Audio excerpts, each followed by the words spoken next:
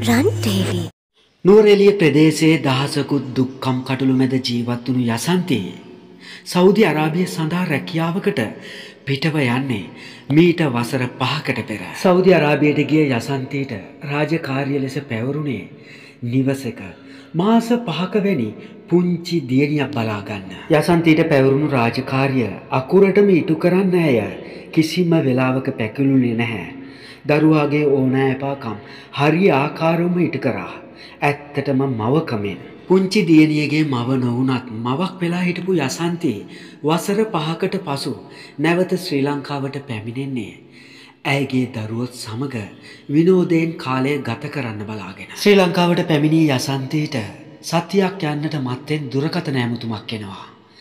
ඒ Saudi අරාබියේ ඇය බලාගත්ත පුංචි දියණියගේ පියාගෙන් ගමනට අවස්ස සියලුම වියදම් මම දරන්නම්. ඔබ ඉක්මනටම එන්න.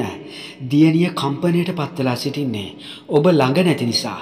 ඇයව සුවකිරීමට නම් ඔබ මෙහි ආයුතුයි. යසන්ති දෙපාරක් හිතුවේ නෑ නැවත සෞදි අරාබිය සඳහා පිටත් වෙනවා. පුංචි දියණිය ළඟ මාසයක් ඉඳලා නැවත ශ්‍රී ලංකාවට පැමිණෙන්නේ පුංචි දියණිය යසන්ති සහ පුංචි දියණියගේ දෙමව්පියන් සමග